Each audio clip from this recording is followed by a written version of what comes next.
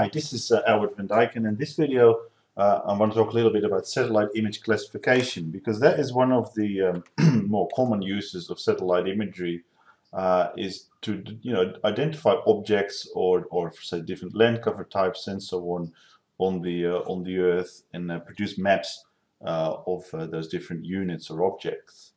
Um, so um, the way you do that is of course you look at the pixels in the image and then you try to group them. Now you can, our eye is actually very trained to do that so we can very easily do that by eye. You know, you take a look at this uh, right image here which is from uh, Kioloa uh, campus. Uh, uh, you might have seen it in previous course uh, and you know, by eye you can sort of already interpret where are the buildings, where's the road, where's the car park, where are the trees and so forth and of course you can draw lines around that and that's definitely one way of classification probably one of the more accurate ways of classification, in fact. But um, it's also an awful lot of work uh, uh, because um, you know there's uh, th that is not an automated way. So people have been working on automated methods for image, image classification for a long time, uh, and they broadly fall into two groups: the supervised classification, where we first uh, decide the, uh, the, the types of land cover, or, or, or let's say, or, or types of surfaces that we want to identify in the image. Uh, or on the other hand, you can uh, work with unsupervised classification, in which uh, case you let the algorithm work out what are the distinct uh, um, pixel types, you know, what are the distinct spectral signatures uh, in the uh, in the image, and work out a classification from there. And then once you've got those different units, you can cross-reference that with um, what you see in field and truth. So three different kinds: visual, supervised, and unsupervised uh, uh, digital classification. Now, um, just to uh, uh, give you a, a bit of a, a, workflow, if you like, of the unsupervised and supervised classification process, as I said, you know, you, you separate your data into groups with clustering, that's if you do an unsupervised classification, and then uh, you uh, try and figure out what it means. You know, the computer has mapped groups for you, and you have to decide what those groups are. Uh, and if you don't like what the computer did, you're going to have to change some of the parameters that went into it uh, and try and do it again. Uh, the other hand, uh, the, the supervised classification, we find some training pixels that represent a known land cover type, let's say, uh, and then uh, we work uh, with a method that, that looks at all the other pixels and works out how close they are in spectral properties to the training pixels that we chose. And if we like what the computer did with that, and we might use some method like k-means or whatever, some of these methods have been discussed in the previous course, uh, then we can accept it and else we might have to um, tell the computer to tell to do something uh, slightly different.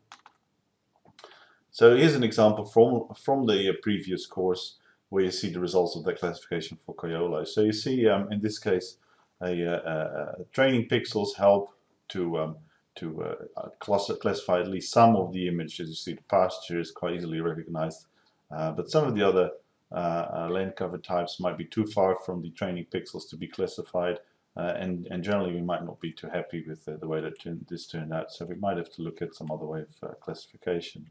So it's a bit of an iterative process, usually regardless of whether it is supervised or unsupervised. Uh, here's another example at much larger scale. So here's uh, the question was, uh, we want to know where the areas are in Australia that do not have vegetation. And we want to know, in a broad sense, what kind of surfaces they are uh, uh, uh, and, and, I guess by implication why they don't have vegetation. So this was an exercise in trying to classify, classify unvegetated areas. And the way that, that was done is uh, we used uh, permanent water bodies to map out where we know water bodies are. Obviously, they are unvegetated.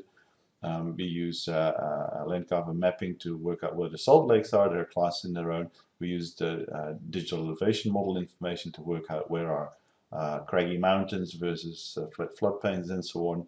Uh, we use greenness from from the MODIS satellite to tell us where, where there is a lot or not a lot of vegetation. And then we use some pre-existing information of where urban areas are. And then we can design by hand a decision tree. Uh, we can say, uh, well, uh, if the MODIS data set is water, then surely it's water. If the if it's not water but it's land a salt lake, then we classify it as a salt lake. Uh, uh, if it's not a salt lake, uh, we might look at, you know, is it is it green or is it not green, and so forth and so forth. And so we end up with these different classification uh, decision uh, decisions and, and generate this decision tree and that ultimately gives us this map showing sandy uh, uh, areas without vegetation in yellow colors, rock outcrops in, in magenta colors, water in bluish colors, and so on. So just as an example. Now, as you saw before, uh, if you work with individual pixels, you can, some, can get some pretty noisy results. And often what we want to produce in the end is a map uh, that looks a bit clean, uh, or maybe we want to identify individual objects. And, and, and uh, for that reason, often uh, uh, a method gets used called segmentation. So when we do segmentation, we don't immediately compare every pixel to some training pixels, but first we're going to classify the, the adjoining pixels into clusters with similar properties. And that's what you see in the top image here. To some extent, you see that the uh, this, this original image. We can classify that in similar units with these, uh, that's what these lines represent. You see the lines here again. And then we can use the properties of that particular polygon. Uh, so not the one pixel, but the collection of pixels. We can uh, try and decide what it is. And so in this case, the red is obviously buildings. Uh, and uh, we've classified the uh, trees into two groups, probably um, uh, depending on how shady or unshady they are. Here's another example. As you can see, we can we can see the buildings. They have different uh, polygons uh, from the uh, some of the other land units and it would probably be straightforward to classify this into buildings and not buildings and roads and so forth on the basis of colors alone already.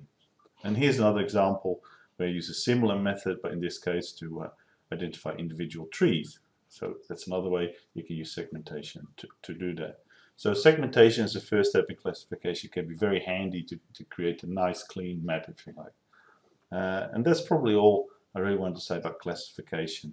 Uh, there's a lot more to it and it's almost a, a, a, worth a, course in its own right.